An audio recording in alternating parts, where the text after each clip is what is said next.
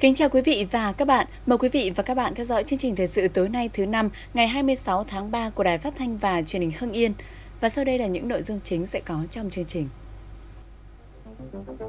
Ban Thường vụ tỉnh ủy họp về phòng chống dịch COVID-19. Đồng chí Bí thư tỉnh ủy Đỗ Tiến sĩ kiểm tra công tác phòng chống dịch tại bệnh viện Đa khoa Hưng Yên. Văn Lâm cách ly người liên quan đến bệnh nhân số 133 dương tính với COVID-19. Nhiều người dân ở thành phố Hưng Yên vẫn chủ quan trong phòng chống dịch, không đeo khẩu trang khi ra đường. Chủ động phòng trừ bệnh đạo ôn trên lúa xuân.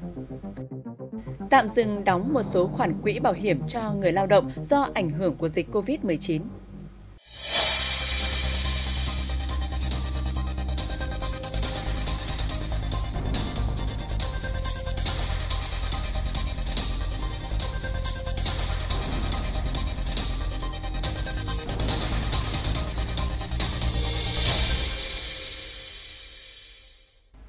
Quý vị và các bạn, chiều nay tại trụ sở tỉnh ủy, dưới sự chủ trì của đồng chí Đỗ Tiến Sĩ, Ủy viên Ban chấp hành Trung ương Đảng, Bí thư tỉnh ủy, Trường đoàn đại biểu Quốc hội tỉnh, Ban Thường vụ tỉnh ủy tổ chức hội nghị chuyên đề về triển khai các giải pháp phòng chống dịch COVID-19 trên địa bàn tỉnh. Cùng dự có lãnh đạo và thành viên Ban chỉ đạo phòng chống dịch tỉnh. Ý kiến tại cuộc họp thống nhất rằng giải pháp hiệu quả nhất trong lúc này là mỗi người dân phải bình tĩnh, không hoang mang, không chủ quan và tự nâng cao ý thức phòng tránh dịch bằng cách không tụ tập đông người, rửa tay thường xuyên, chấp hành tốt việc cách ly theo khuyến cáo của cơ quan chuyên môn, thực hiện đeo khẩu trang khi đi ngoài đường. Hiện nay, Ban chỉ đạo tỉnh đã chuẩn bị các phương án xử lý tình huống có dịch theo 5 cấp độ. Các ngành liên quan đang khẩn trương ở mức nhanh nhất có thể mua sắm thêm trang thiết bị máy móc, vật tư y tế phục vụ chữa trị khi có trường hợp nhiễm bệnh. Phát biểu kết luận hội nghị, đồng chí Đỗ Tiến Sĩ yêu cầu Ban chỉ đạo phòng chống dịch tỉnh tiếp tục chủ động, khẩn trương triển khai các biện pháp để phòng chống dịch hiệu quả trên địa bàn, làm tốt công tác khai báo y tế, cách ly những trường hợp có nguy cơ nhiễm dịch.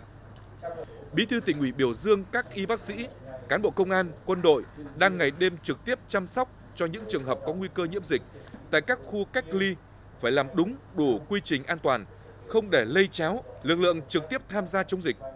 Với phương châm tất cả vì sức khỏe nhân dân, và để phòng dịch hiệu quả, lãnh đạo tỉnh mong mỗi người dân nghiêm túc chấp hành các khuyến cáo của ngành y tế về phòng chống dịch. Bởi đây đang là giai đoạn vàng để chúng ta ngăn ngừa, khoanh vùng dịch tránh lây lan. Bởi nếu để dịch lan rộng ra cộng đồng, diện rộng, hậu quả sẽ khôn lường. Sáng nay, đồng chí Đỗ Tiến Sĩ, Ủy viên Ban chấp hành Trung ương Đảng, Bí thư tỉnh ủy, trưởng đoàn đại biểu Quốc hội tỉnh kiểm tra công tác phòng chống dịch bệnh COVID-19 tại Bệnh viện Đa khoa Hưng Yên. Cùng đi có lãnh đạo Văn phòng tỉnh ủy, lãnh đạo Sở Y tế. Đến 17 giờ ngày 25 tháng 3, tỉnh Hưng Yên hiện đang cách ly trên 800 trường hợp, trong đó có gần 60 trường hợp cách ly tại cơ sở y tế, trên 300 trường hợp cách ly tập trung, hơn 430 trường hợp cách ly tại nhà và nơi lưu trú. Bệnh viện Đa khoa tỉnh đã thành lập hai đội phản ứng nhanh trực 24 trên 24 giờ và bố trí khu cách ly có lối đi riêng đối với các trường hợp nghi nhiễm đang được cách ly tại bệnh viện, đảm bảo an toàn cho nhân dân đến khám, điều trị các bệnh thông thường.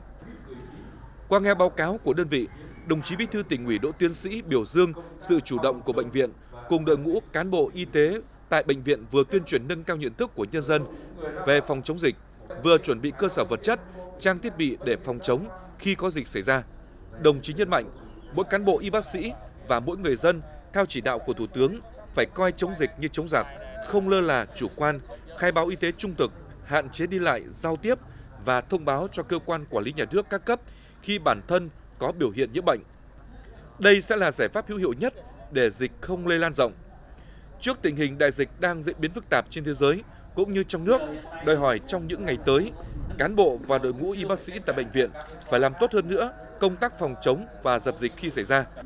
Tổ chức tập huấn, giả định các tình huống với phương châm xác định rõ là các bệnh viện của Hưng Yên sẽ là nơi điều trị cho bệnh nhân của tỉnh, phối hợp với các ngành, đoàn thể, làm tốt công tác quản lý cách ly người có nguy cơ nhiễm dịch theo quy định. Bí thư tỉnh ủy mong muốn mỗi người dân trong tỉnh nêu cao ý thức tự giác, không tụ tập đông người, đeo khẩu trang để hạn chế dịch lây lan. Tình hình của trong nước chúng ta cũng ngày càng có những cái diễn biến phức tạp hơn. Công tác lãnh đạo chỉ đạo của tỉnh ủy, ủy ban nhân dân tỉnh và ban chỉ đạo tỉnh thời gian qua có thể nói rằng rất quyết liệt và rất cụ thể. Và các ngành các cấp thì được hưởng ứng và thực hiện đồng tình, đặc biệt là nhân dân trong tỉnh của chúng ta. Qua công tác kiểm tra rồi chúng tôi đánh giá rất là cao cái ý thức trách nhiệm của các đồng chí lãnh đạo, cán bộ, nhân viên của bệnh viện và với cái ờ, tất cả những cái cơ sở vật chất đã chuẩn bị đây rồi khoa truyền nhiễm, các đồng chí cũng đã chuẩn bị đây với những cơ sở vật chất ban đầu là chúng ta rất tin tưởng là cái công tác cách ly vừa rồi của chúng ta ở rất nhiều các cái cơ sở bước đầu đã có cái kết quả tốt. Và giả sử mà Hưng Yên chúng ta có bệnh nhân thì chúng ta cũng sẽ chủ động về cái công tác chuyên môn, rồi là công tác phòng chống ờ, trong nội bộ cán bộ y tế chúng ta để cái bệnh đấy nó không bị lây chéo. Rồi chúng ta là phải nâng cao cái việc mà tuyên truyền phổ biến ngành y tế phải là chủ công. Tới đây thì tỉnh ủy ban dân tỉnh tiếp tục có những cái sự chỉ đạo rất quyết liệt cụ thể. Rồi người dân thì phải ý thức, từ việc là đeo khẩu trang, rồi là tránh tụ tập đông người. Và trước hết là cán bộ đảng viên phải gương mẫu trong cái việc là cưới, việc tang, để giảm thiểu ít nhất cái số người tham dự việc cưới việc tang. Mặt trận tổ quốc, đoàn thể chính trị, xã hội các đoàn viên hội viên là phải đi đầu trong cái việc thực hiện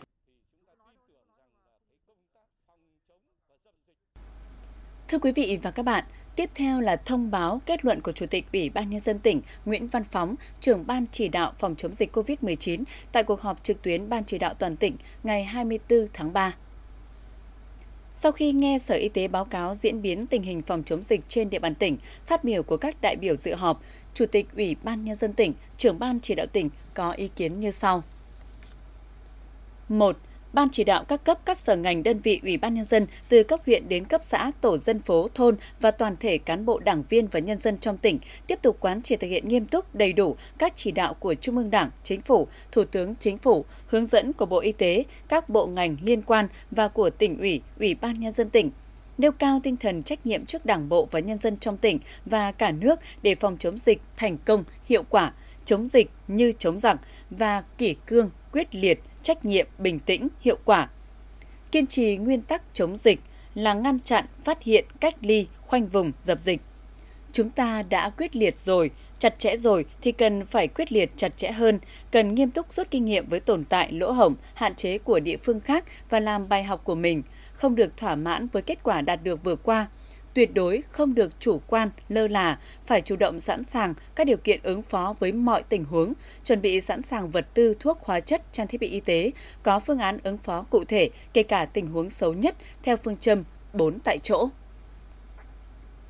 Cả hệ thống chính trị vào cuộc để vận động từng gia đình, từng người dân nhanh chóng thay đổi mạnh mẽ các thói quen, nếp sinh hoạt để thích ứng với yêu cầu phòng chống dịch – đề nghị không đi massage, karaoke, game online, không đến nơi đông người, nhất là người già, người có bệnh nền. Tự nấu ăn uống ở nhà để hạn chế tiếp xúc đông người, dễ lây lan bệnh dịch.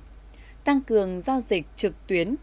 điện thoại, tin nhắn, Internet, đeo khẩu trang tại nơi công cộng, trên phương tiện giao thông công cộng, vận động khuyến cáo đóng cửa các dịch vụ không cần thiết để hạn chế tối đa việc tụ tập đông người. 2 giao đồng chí Nguyễn Duy Hưng, Phó Chủ tịch Ủy ban Nhân dân tỉnh, trực tiếp và chịu trách nhiệm trong việc chỉ đạo Sở Y tế chủ trì phối hợp với Sở Tài chính và cơ quan liên quan xây dựng phương án nhu cầu mua sắm vật tư, trang thiết bị y tế, thuốc, hóa chất phục vụ công tác phòng chống dịch COVID-19. Báo cáo tỉnh ủy, Hội đồng Nhân dân, Ủy ban Nhân dân tỉnh theo quy định tổ chức mua sắm khẩn trương, nhanh nhất, đảm bảo đúng quy định chặt chẽ, tiết kiệm và hiệu quả, không được để xảy ra tiêu cực trong việc mua sắm phục vụ công tác phòng chống dịch sớm nhất. 3. Sở Y tế tiếp tục ra soát cập nhật kịch bản cách ly khoanh vùng nơi có dịch, chuẩn bị đầy đủ phương tiện, thuốc, hóa chất, vật tư, trang thiết bị y tế cho phòng chống dịch và điều trị người mắc bệnh nếu có, sẵn sàng phương án huy động lực lượng y bác sĩ, y tá, nhân viên y tế, kể cả người đã nghỉ hưu, sinh viên trường y cho công tác phòng chống dập dịch thường xuyên cập nhật văn bản chỉ đạo của Trung ương Đảng, Chính phủ, Ban chỉ đạo quốc gia phòng chống dịch COVID-19 của Bộ Y tế, các bộ ngành liên quan để chủ động tham mưu Ủy ban Nhân dân tỉnh văn bản chỉ đạo triển khai đầy đủ kịp thời, hiệu quả các nội dung liên quan đến công tác phòng chống dịch tham mưu công tác đảm bảo trang thiết bị y tế, dụng cụ bảo hộ hậu cần đối với đội ngũ cán bộ chiến sĩ, nhân viên y tế phục vụ tại cơ sở cách ly tập trung nhằm phòng tránh không để lây nhiễm cho đội ngũ khám điều trị và phục vụ tại cơ sở cách ly tập trung và cơ sở y tế yêu cầu hướng dẫn từng cơ quan đơn vị từng khu phố, thôn tổng vệ sinh đường làng, phố khuôn viên cơ quan và nơi làm việc thứ sáu hàng tuần, phun thuốc khử trùng thường xuyên hàng tuần ở các trường trung học phổ thông, những nơi đông người, các cơ quan, nhà máy. Đề xuất ngay phương án triển khai phòng xét nghiệm COVID-19 tại Trung tâm Kiểm soát Bệnh tật và Bệnh viện Bệnh nhiệt đới Hưng Yên, trình Ủy ban Nhân dân tỉnh xem xét phê duyệt trước 16 giờ ngày 25 tháng 3 năm 2020 để đưa phòng xét nghiệm vào sử dụng trong thời gian sớm nhất. 4. Sở Thông tin và Truyền thông chủ trì phối hợp với báo Hưng Yên, Đài Phát thanh Truyền hình Hưng Yên, hệ thống truyền thanh từ huyện tới cơ sở, tăng cường thời lượng tần suất phát sóng, đồng thời thông báo nội dung thời gian phát sóng về phòng chống dịch COVID-19 cho nhân dân biết, cập nhật thông tin tiếp tục đẩy mạnh công tác tuyên truyền trên đài phát thanh truyền hình, báo chí, đài truyền thanh xã, xe phát thanh cơ động, kể cả mạng xã hội tuyên truyền ổn định xã hội, sự chung tay của cộng đồng trong phòng chống dịch, chủ động thông tin kết quả điều trị, số ca mắc, tránh gây hoang mang xã hội. Thông tin nhiều hơn nữa về cách phòng chống bệnh, tránh đưa thông tin gây bi quan, sợ hãi hoặc kỳ thị đối với người mắc, người nghi mắc, đưa thông tin các biện pháp nâng cao thể lực, sức đề kháng để nhân dân áp dụng. 5. Sở Giáo dục và Đào tạo chủ trì phối hợp với Đài Phát thanh Truyền hình Hưng Yên nghiên cứu tăng cường dạy học trên truyền hình cho học sinh cấp trung học cơ sở trên địa bàn tỉnh. 6. Bộ Chỉ huy Quân sự tỉnh, Công an tỉnh chỉ đạo tổng hợp ra soát tất cả các trường hợp nhập cảnh vào Việt Nam về Hưng Yên cách ly tại nơi cư trú, tại gia đình hoặc doanh nghiệp, các trường hợp cách ly tại nơi cư trú phải nghiêm túc thực hiện đúng quy trình cách ly theo hướng dẫn của ngành y tế, đặc biệt nơi cách ly phải đảm bảo đúng tiêu chuẩn, người phục vụ cách ly tại nơi cư trú không được tiếp xúc với người khác, không được đến nơi đông người, thường xuyên ghi nhật ký khi phải tiếp xúc gần với người khác.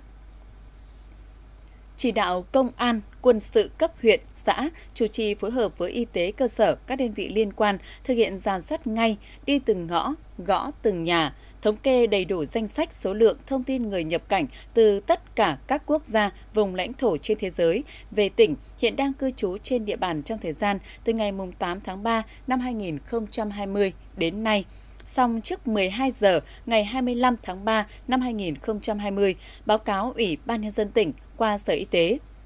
Sở Y tế phải xác định ngay đối tượng ở nước ngoài về và đối tượng tiếp xúc gần nhằm phân loại nhanh, tổ chức xét nghiệm và cách ly kịp thời, hiệu quả, có biện pháp để chống lây truyền bệnh đối với việc sử dụng các phương tiện vận chuyển như taxi, xe buýt, xe khách.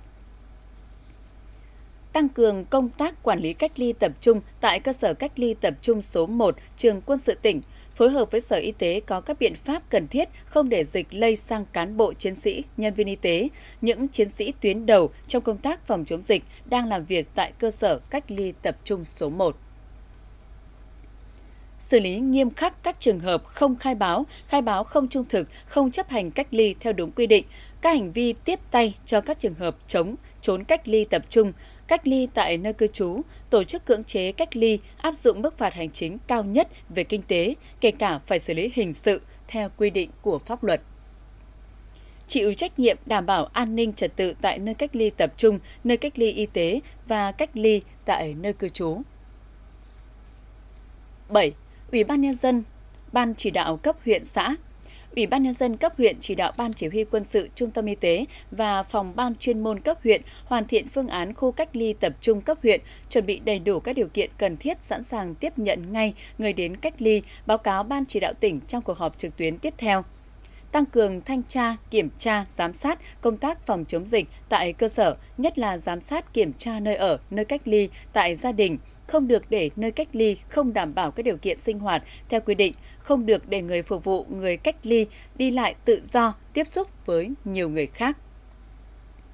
Chủ tịch Ủy ban Nhân dân cấp xã, công an xã, quân sự xã, trưởng thôn khu phố, tổ phòng chống dịch cơ sở phải đi từng ngõ, gõ từng nhà, tiếp tục giả soát các đối tượng có nguy cơ nhiễm bệnh dịch, nhất là người nhập cảnh về tỉnh trong 14 ngày qua hoàn thành trước 12 giờ ngày 25 tháng 3 năm 2020, báo cáo Ủy ban Nhân dân cấp huyện để báo cáo Ủy ban Nhân dân tỉnh qua Sở Y tế thực hiện chuyển ngay người cách ly tại gia đình không đảm bảo điều kiện cách ly lên cơ sở cách ly tập trung cấp huyện hoặc gia đình có thể thuê nhà riêng biệt để thực hiện việc cách ly cho người được cách ly tại gia đình. Chủ tịch Ủy ban Nhân dân cấp xã, trưởng công an xã đội trưởng, trưởng trạm xá xã, trưởng thôn, khu phố phải đi từng nhà có con em đi học tập lao động ở nước ngoài, tiếp tục ký cam kết nếu con em về nước, về nhà phải chủ động thực hiện khai báo ngay với chính quyền, cơ quan y tế để thực hiện cách ly theo quy định của ngành y tế. Nếu có con em về mà không khai báo, khai báo không đúng, không chấp hành cách ly theo đúng quy định, có hành vi tiếp tay cho các đối tượng trốn tránh cách ly sẽ bị xử lý nghiêm khắc theo quy định của pháp luật về hành chính, kinh tế, cả về truy tố hình sự. Chủ tịch Ủy ban Nhân dân cấp xã, trưởng công an xã đội trưởng, trưởng trạm xã xã, trưởng thôn khu phố chịu trách nhiệm về số liệu kết quả việc giả soát cách ly phòng chống dịch tại địa phương mình. Đề nghị các cơ sở thờ tự không tụ tập đông người, vận động các tổ chức tôn giáo tín ngưỡng tu hành tại gia không tiến hành nghi lễ đông người. Chuẩn bị mọi điều kiện triển khai khu cách ly tập trung cấp huyện theo hướng dẫn của Bộ Y tế tại quyết định số 878 ngày 12 tháng 3 năm 2020 về việc ban hành hướng dẫn cách ly y tế tại cơ sở cách ly tập trung phòng chống dịch COVID-19 trước ngày 25 tháng 3 năm 2020 xử lý nghiêm cán bộ công chức thiếu tinh thần trách nhiệm, lơ là, chủ quan, không kịp thời báo cáo, không cách ly chặt chẽ theo quy định. 8 các cơ quan đơn vị địa phương chủ động đẩy mạnh xã hội hóa công tác phòng chống dịch trên địa bàn tỉnh, sử dụng kinh phí xã hội hóa cho việc mua sắm trang thiết bị y tế, phục vụ công tác điều trị nhằm đạt hiệu quả cao nhất quán triệt công tác đảm bảo hậu cần, phòng chống dịch theo phương châm 4 tại chỗ, dự phòng cách ly điều trị tại chỗ, cơ sở vật chất, trang thiết bị, thuốc men, dụng cụ phòng hộ theo yêu cầu tại chỗ, kinh phí tại chỗ, nhân lực tại chỗ, theo nội dung công văn số 1030 ngày 3 tháng 3 năm 2020 của Bộ Y tế sử dụng dự toán ngân sách nhà nước năm 2020 đã được giao để bảo đảm kinh phí thực hiện các hoạt động chống dịch và chế độ chính sách đối với công chức, viên chức, người lao động tham gia chống dịch theo hướng dẫn tại công văn số 1074 ngày 5 tháng 2 năm 2020 của Bộ Tài chính. 9 ngành nông nghiệp và phát triển nông thôn, công thương đảm bảo phương án cung ứng lương thực thực phẩm, khẩu trang, các mặt hàng thiết yếu phục vụ công tác phòng chống dịch, các biện pháp bình ổn giá các mặt hàng thiết yếu nhằm đảm bảo đời sống nhân dân trong thời gian diễn ra dịch bệnh. Chủ tịch Ủy ban Nhân dân cấp huyện tới cơ sở, thôn, phố và ngành nông nghiệp tăng cường công tác phòng chống dịch bệnh, sâu bệnh trên vật nuôi cây trồng, áp dụng triệt để các biện pháp phòng chống dịch bệnh. Phòng dịch như chống dịch, quyết tâm không được để dịch bệnh xảy ra làm ảnh hưởng đến sản xuất nông nghiệp. 10. Sở Kế hoạch và Đầu tư chủ trì phối hợp với các sở ngành, Ủy ban Nhân dân các huyện, thị xã, thành phố tiếp tục tập trung tham mưu Ủy ban Nhân dân tỉnh tìm các giải pháp đẩy mạnh phát triển sản xuất, kinh doanh trong thời gian tới, đảm bảo thắng lợi mục tiêu kép, phòng chống dịch và phát triển kinh tế xã hội trên địa bàn tỉnh. Ủy ban Nhân dân tỉnh thông báo để các sở ngành cơ quan liên quan, Ủy ban Nhân dân các huyện, thị xã, thành phố biết thực hiện nghiêm túc. Thừa lệnh Chủ tịch Tránh Văn phòng Nguyễn Ngọc Thuyên Liên quan đến bệnh nhân số 133 ở tỉnh Lai Châu điều trị tại phòng tự nguyện giường số 30, khoa cấp cứu thần kinh bệnh viện Bạch Mai từ ngày 29 tháng 2, dương tính với SARS-CoV-2. Các bệnh được Bộ Y tế công bố ngày 24 tháng 3 sáng ngày 25 tháng 3 từ cuộc điện thoại đường dây nóng của bà Phạm Thị Trơn, sinh năm 1961 ở thôn Chí Trung, xã Tân Quang, huyện Văn Lâm, phản ánh về việc có tiếp xúc với bệnh nhân số 133 trong quá trình đi chăm mẹ là cụ Nguyễn Thị Hàm, sinh năm 1932 ở Bệnh viện Bạch Mai. Trung tâm Y tế huyện Văn Lâm đã ngay lập tức triển khai các biện pháp tiến hành cách ly theo đúng quy định của Bộ Y tế. Trung tâm Y tế huyện cách ly y tế tại trung tâm 8 trường hợp, trong đó có 7 trường hợp trong gia đình bà Trơn và một trường hợp làm cùng công ty với bà Trơn, đồng thời phun khử trùng tại gia đình bà Trơn và ra soát cách ly 21 trường hợp F3, 42 trường hợp F4 liên quan tiếp xúc. Ngày 25 tháng 3, bà Trơn có cảm giác hơi đau họng, không ho, không sốt, không khó thở, không hắt hơi sổ mũi. Còn các trường hợp khác sức khỏe ổn định. Xã Tân Quang tiếp tục ra soát các đối tượng liên quan để hướng dẫn cách ly theo dõi sức khỏe theo đúng quy định của Bộ Y tế, lập danh sách toàn bộ những người đã tiếp xúc với người bị cách ly, với người trong gia đình, người làm việc trong cơ sở lưu trú, có người bị cách ly để theo dõi, giám sát chặt chẽ về sức khỏe. Được biết trong quá trình chăm sóc mẹ là cụ Nguyễn Thị Hàm, số giường 29 tại khoa thần kinh, Bệnh viện Bạch Mai từ ngày 16 tháng 2 đến ngày 22 tháng 3, bà Trơn cùng ba người thân trong gia đình tiếp xúc gần với bệnh nhân giường số 30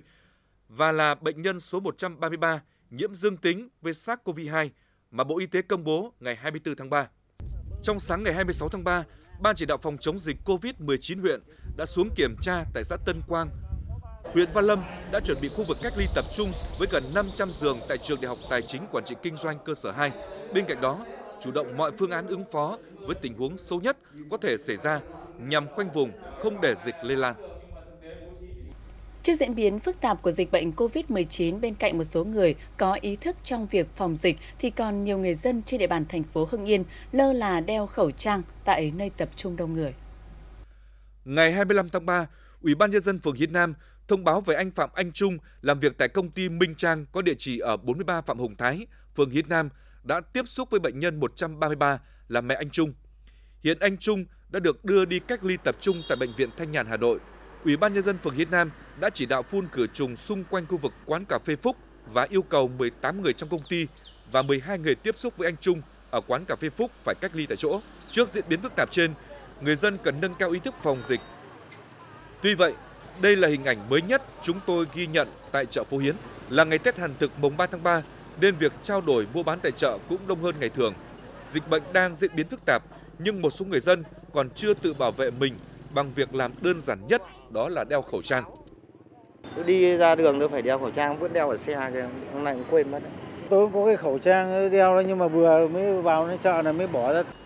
Ngày 16 tháng 3, Thủ tướng Chính phủ đã chỉ đạo thực hiện nghiêm việc đeo khẩu trang tại các nơi công cộng tập trung đông người để phòng chống bệnh hiệu quả. Ghi nhận của phóng viên tại chợ, một số quán nước cần điểm chờ xe buýt nơi xe ôm đón khách và khu vực sân bệnh viện, họ vẫn vô tư nói chuyện mà không hề đeo khẩu trang.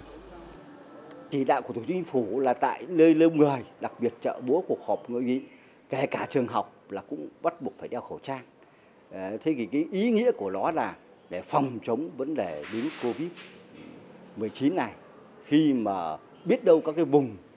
dịch hoặc vùng không dịch hoặc trong vùng trong số những người tập trung đông người đó có người bị nhiễm trong thời kỳ của bệnh cũng có thể lây sang người bên cạnh. Ờ, thế thì đeo khẩu trang là thứ nhất là nó tránh được vấn đề cái ho, hát hơi, trực tiếp, đặc biệt là trực tiếp các giọt bắn vào thì đã có lớp khẩu trang bảo vệ cái giọt bắn của người ta khi mà ho mạnh nhất theo điều tra là ho, hát hơi mạnh nhất, những người khỏe thì tầm 4 mét rưỡi, thế còn trung bình là 2 mét rưỡi đến 2 mét 2 mét đến 2 mét rưỡi thế nên đeo khẩu trang là cái việc rất cần thiết trong phòng chống dịch Covid-19 hiện nay. Trong khi bài học về việc 12 người tiếp xúc với anh Trung ở quán cà phê Phúc đang phải cách ly vẫn còn đó. Tại thời điểm này, người dân cần ý thức cao hơn, thực hiện nghiêm túc và đầy đủ tinh thần chỉ đạo của chính phủ, khuyến cáo của Bộ Y tế để bảo vệ chính mình và cộng đồng. Theo thông tin từ ông Phan Tiến Sơn, Giám đốc Trung tâm Kiểm soát Bệnh tật tỉnh, anh Phạm Anh Trung, con trai của bệnh nhân số 133, đã có kết quả xét nghiệm âm tính. Anh này tiếp tục được cách ly tại Bệnh viện Thanh Nhàn, Hà Nội trong 14 ngày những người có liên quan đến anh Trung vẫn cần giám sát y tế và theo dõi sức khỏe tại nhà. Chưa bao giờ các nhân viên y tế, các cán bộ chiến sĩ của tỉnh được huy động tập trung cao độ như thời gian này. Ở đó có những công hiến thầm lặng, họ sẵn sàng gạt bỏ những lo lắng nguy cơ sang một bên để dốc hết sức lực ngăn chặn sự lây lan và cùng chung tay đẩy lùi dịch COVID-19 nhân kỷ niệm 89 năm ngày thành lập Đoàn Thanh niên Cộng sản Hồ Chí Minh 26 tháng 3 năm 1931, 26 tháng 3 năm 2020. Chúng tôi phản ánh về những tấm gương y bác sĩ trẻ tuổi, xả thân đương đầu với dịch bệnh. Trung tâm Y tế huyện Ân Thi,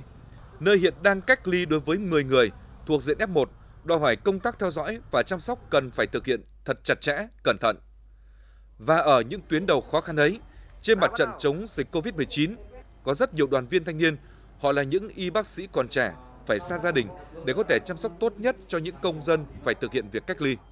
14 ngày cách ly là từng ấy ngày kiếp trực của các y bác sĩ tại Trung tâm Y tế huyện Ân Thi phải theo dõi nhiệt độ, thăm khám và đảm bảo chế độ ăn uống, tập thể dục, chăm sóc sức khỏe tốt nhất để họ yên tâm hợp tác chống dịch. Bản thân mình cũng có gia đình, cũng có vợ, có con nhỏ. Ờ, vào đây nó cũng ảnh hưởng và xáo trộn đến cuộc sống gia đình rất là nhiều. Nhưng mà với ờ, sức trẻ và lòng nhiệt huyết quyết tâm của thanh niên tuổi trẻ thì là những nhân viên cán bộ y tế ờ, sẽ cố gắng làm sao phát huy tốt và luôn luôn thực hiện và hoàn thành tốt nhiệm vụ đã được giao. Tại khu cách ly tập trung trường quân sự tỉnh, các cán bộ chiến sĩ trẻ tại đây đã hơn 30 ngày liên tiếp thực hiện việc cách ly cho trên 600 trường hợp trong cả nước trở về từ nước ngoài. Bên cạnh việc theo dõi, thăm khám sức khỏe đã dần quen thuộc, thì các chiến sĩ trẻ ở đây vẫn ngày ngày đều đặn nấu hàng nghìn suất cơm đảm bảo vệ sinh và đầy đủ chất dinh dưỡng để phục vụ tốt nhất cho các bệnh nhân. Mặc dù áp lực công việc tăng lên gấp đôi, thậm chí là không được đổi ca, thế nhưng họ vẫn sẵn sàng phục vụ từ việc ăn uống đến đảm bảo điện nước cho các công dân cách ly.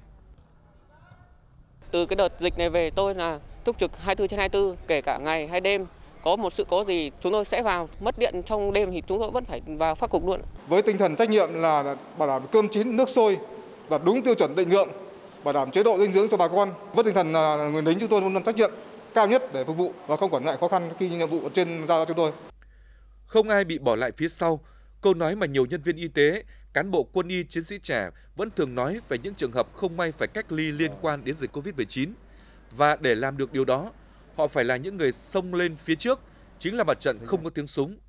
Ở đó, dù có những hiểm nguy, bất chắc đầy sự nghi ngại, nhưng đằng sau tất cả chính là nụ cười, niềm tin dành cho họ, những chiến sĩ tuyến đầu trong tâm bão Covid-19.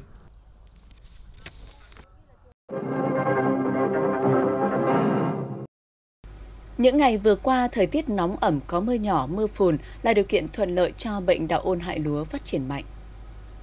Toàn tỉnh có hơn 114 ha lúa bị nhiễm bệnh đạo ôn, trong đó có 6 ha nhiễm nặng. Chi cục Bảo vệ thực vật tỉnh khuyến cáo bà con cần sử dụng các loại thuốc đặc hiệu như Bancan 600 VKP, côn 400 VKP, lúa vàng 20 VKP, phun ướt đều hai mặt lá để đạt hiệu quả cao, dừng ngay việc bón phân đạm không sử dụng các chất kích thích sinh trưởng phân bón qua lá, luôn giữ đủ nước trên ruộng. Cùng với đó, bệnh khô vằn xuất hiện và gây hại nhẹ trên một số ruộng lúa cấy dày, bệnh nghẹt rễ xuất hiện cục bộ trên một số ruộng lúa bị ngộ độc hữu cơ. Bà con cần chủ động phun phòng trừ bằng thuốc đặc hiệu và các loại thuốc kích rễ. Để việc sản xuất kinh doanh không bị gián đoạn những ngày này, Hợp tác xã Đầu tư và Phát triển Nông nghiệp Công nghệ cao Minh Châu, thôn Đoàn Thượng xã Bảo Khê, thành phố Hưng Yên đã đưa ra nhiều biện pháp khắc phục khó khăn do ảnh hưởng của dịch bệnh COVID-19. Nếu như trước đây, trung bình một tháng, hợp tác xã xuất bán 2 tấn sản phẩm thô từ 4 đến 5 nghìn sản phẩm gồm trà túi lọc cao được chiết xuất từ cây cà gai leo và cây thìa canh. Từ đầu năm 2020, thị trường tiêu thụ sản phẩm trên giảm 20% do ảnh hưởng của dịch COVID-19. Khắc phục tình trạng đó, ngoài tăng cường quảng bá sản phẩm trên các trang mạng xã hội, thúc đẩy các đại lý bán hàng online, Hợp tác xã còn liên kết với các hợp tác xã doanh nghiệp có các sản phẩm nông sản trong top 10 sản phẩm tiêu biểu tỉnh Hưng Yên như mật ong hạt sen tinh bột nghệ để quảng bá tiêu thụ sản phẩm đi các vùng miền khác nhau trên cả nước. Nhờ đó, hợp tác xã vẫn duy trì sản xuất ổn định thị trường tiêu thụ cũng như doanh số bán hàng. Trước tình hình dịch bệnh COVID-19 đang có chiều hướng diễn biến phức tạp, nhằm hỗ trợ các doanh nghiệp, Ủy ban nhân dân tỉnh Hưng Yên vừa có công văn số 640 ngày 25 tháng 3 năm 2020 về việc tạm dừng đóng vào quỹ hưu trí và tử tuất đối với đối tượng bị ảnh hưởng bởi dịch COVID-19. Theo quy định, thì doanh nghiệp đơn vị cơ quan tổ chức có 50% lao động tham gia bảo hiểm xã hội nghỉ việc, tiến hành lập hồ sơ từ đó cơ quan bảo hiểm sẽ căn cứ vào hồ sơ để tạm dừng đóng bảo hiểm xã hội vào quỹ hưu trí và tử tuất theo quy định kể từ tháng doanh nghiệp đề nghị đến tháng 6 năm 2020 và không tính lãi. Trong trường hợp đến hết tháng 6 năm 2020, dịch COVID-19 vẫn chưa thuyên giảm thì vẫn được dừng các loại quỹ trên đến tháng 12 năm 2020. Ngày 25 tháng 3, Hội Chữ thập đỏ tỉnh phối hợp với Hội Chữ thập đỏ thị xã Mỹ Hào và Viện Huyết học Truyền máu Trung ương tổ chức Ngày hội hiến máu tình nguyện năm 2020. Ngày hội hiến máu tình nguyện thu hút 750 cán bộ công chức viên chức, chiến sĩ lực lượng vũ trang, đoàn viên thanh niên, hội viên, các đoàn thể và các tình nguyện viên chữ thập đỏ đăng ký. Kết quả ban tổ chức đã tiếp nhận 522 đơn vị máu. Ban tổ chức đã chuẩn bị sẵn dung dịch sát khuẩn để rửa tay phát khẩu trang y tế và tiến hành đo thân nhiệt từng người trước khi người hiến máu tình nguyện đăng ký hiến máu. Ngoài ra, ban tổ chức tặng 3.000 khẩu trang vải kháng khuẩn và hàng nghìn tờ rơi về phòng chống dịch bệnh COVID-19 cho những người tham gia hiến máu tình nguyện. Thời gian qua, trên địa bàn tỉnh đã xảy ra một số vụ tai nạn giao thông mà nguyên nhân là do việc thi công gây mất an toàn giao thông. Mặc dù đã được các cơ quan chức năng tuyên truyền xử lý, song tình trạng này vẫn còn tiếp diễn. Đây là hình ảnh chiều ngày 26 tháng 3 tại ngã tư đường Nguyễn Lương Bằng, giao với đường Trần Quang Khải, phường Lam Sơn, thành phố Hưng Yên. Dù các phương tiện tham gia giao thông đông, song đơn vị thi công không hề có biển báo hiệu giảm tốc độ hay đèn cảnh báo nào. Được biết, đây là dự án cải tạo nâng cấp đường dây và lắp đặt trạm biến áp mới của Điện lực thành phố Hưng Yên, đơn vị trúng thầu là công ty chiếu sáng Hải Phòng. Theo quy định của pháp luật, đối với công trình thi công thiếu các biện pháp bảo đảm an toàn để gây chết người thì cá nhân có thể bị khởi tố vì vi phạm an toàn lao động, an toàn ở những nơi đông người, vi phạm quy định về duy tu, sửa chữa, quản lý các công trình giao thông Quý vị và các bạn thân mến, chương trình thời sự hôm nay của Đài Phát thanh và Truyền hình Hưng Yên xin được khép lại tại đây. Cảm ơn quý vị và các bạn đã dành thời gian theo dõi. Xin kính chào tạm biệt và hẹn gặp lại.